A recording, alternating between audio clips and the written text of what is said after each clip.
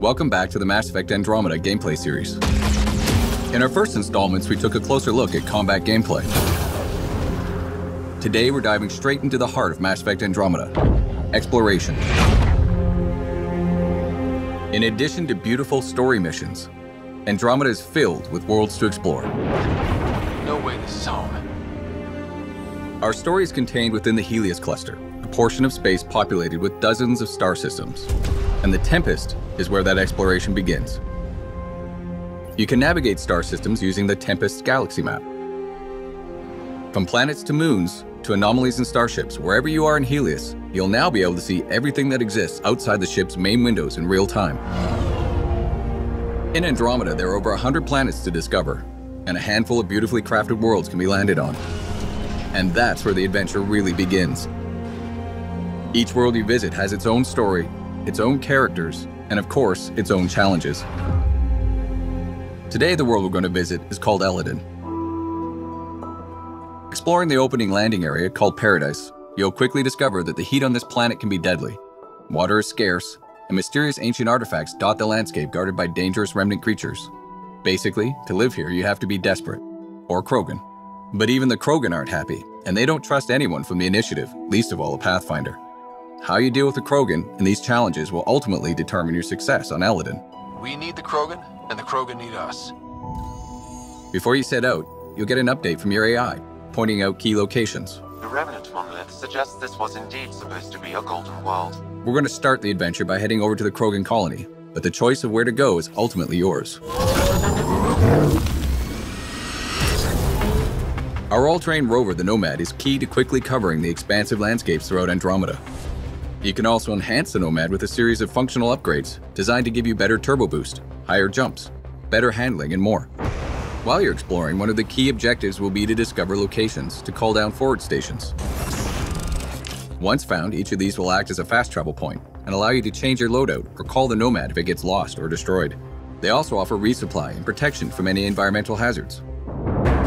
Our conversations at the Krogan colony point us in a few directions. Exiles are causing trouble at their base, the Flophouse, and a derelict remnant ship may have a drive core the Krogan are in desperate need of. Let's head to that ship and see what we can find.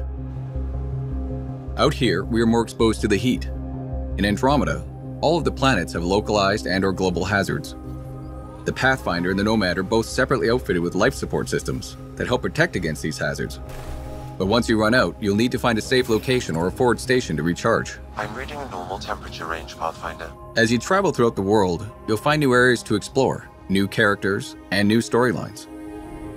Ultimately, all of these discoveries will help raise the viability of the planet. Increasing planet viability does two things allow for the creation of an outpost and upgrade the Nexus, the Andromeda Initiative's space station. Before a planet can support an outpost, you'll first need to get its viability to at least 40% by pacifying threats, allying yourself to locals, solving environmental problems, and accomplishing specific tasks related to that planet's story. For example, in the case of Elaaden, your relationship with the Krogan will determine whether you can build here or not. Regardless of whether you build an outpost, your exploration and discoveries will also give you Andromeda viability points. Reaching thresholds will allow you to upgrade the Nexus and wake up more colonists from cryosleep. Who you decide to wake up will determine what perks and advantages you'll get.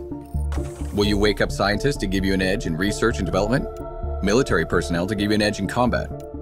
Or merchants to give you a leg up when trading? But of course, not everything on these worlds will be so straightforward. Andromeda holds many mysteries, not the least of which is a vast network of ancient vaults.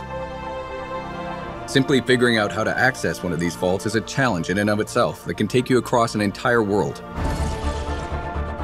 Once inside, you'll need to rely on skills from every element of Andromeda gameplay, including exploration, environmental navigation, puzzle solving, and combat to get them back online, and then make it out alive. Go!